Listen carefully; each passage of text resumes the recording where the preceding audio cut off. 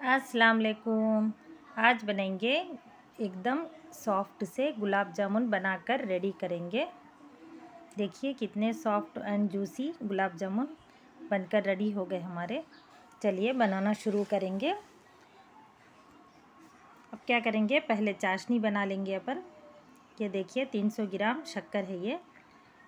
Sugar 300 ग्राम है totally पूरी। अब इसमें आधी गिला दो गिलास पानी डाल देंगे अपन। डालकर चाशनी बना, बनाना शुरू करेंगे। अब देखिए, दो गिलास पानी डालने के बाद एक दो इलायची ऐड कर दी मैं इसमें।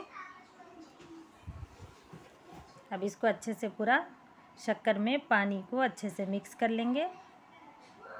अब फ्लेम ऑन रख देंगे। अब ये देखिए, गुलाब जामुन मिक्सचर है ये रेडीमेड वाला।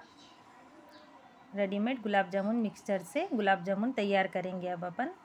एकदम सॉफ्टली गुलाब जामुन बनाकर रेडी करेंगे। ये दो पैकेट वाले गुलाब जामुन हैं। इस तरह से मिक्सर डाल दी मैं। अब इसमें दूध डाल देंगे अपन। दूध डालते हुए अच्छा सा एक डो लगा लेंगे।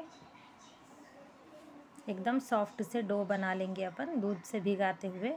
थोड़ा थोड़ा दूध ऐड करते हुए। Totally two fifty, three fifty gram three M दूध लगा हमारे को ये भिगाने में।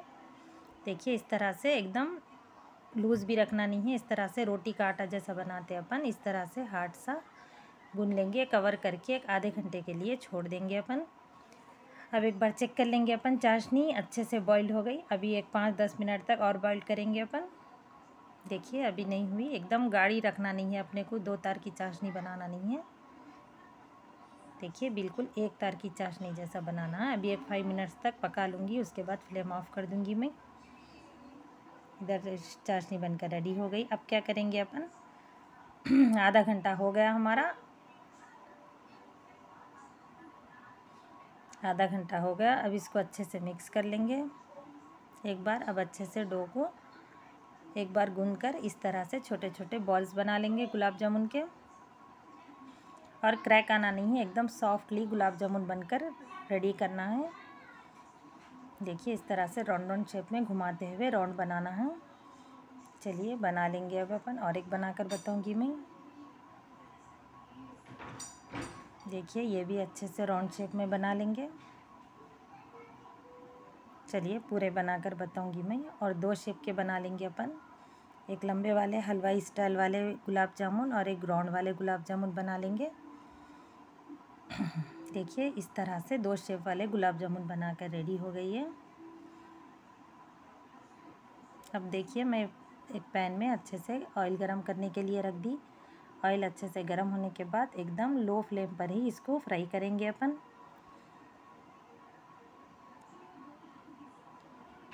एकदम फ्लेम लो रखना है, नहीं तो जल जाते।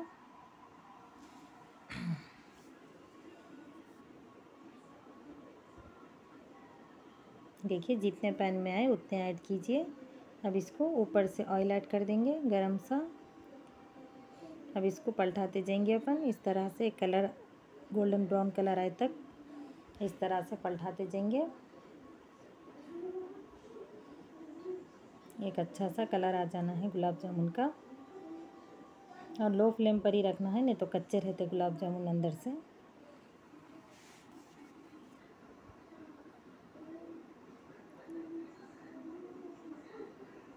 देखिए इधर उधर पलटाते हुए कलर दे देंगे अपन। और पलटाना ज़रूरी है, नहीं तो कलर बिल्कुल चेंज हो जाता।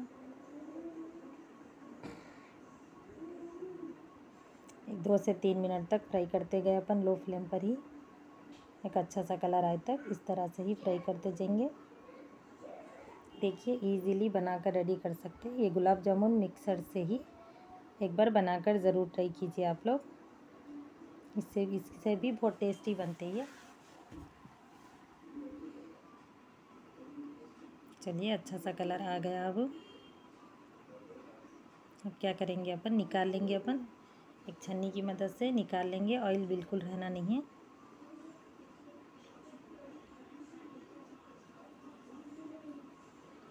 देखिए लो फ्लेम ही है ये। अब इसको अच्छे से निकाल निकाल लेंगे अब अपन। ऑयल रहना नहीं है बिल्कुल भी।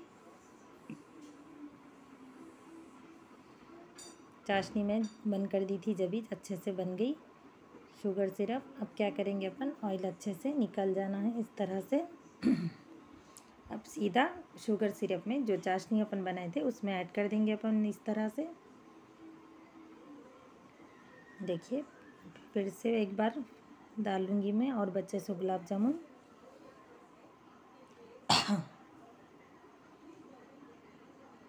देखिए, ये भी एक अच्छा सा कलर आए तक फ्राई कर लेंगे अब अपन।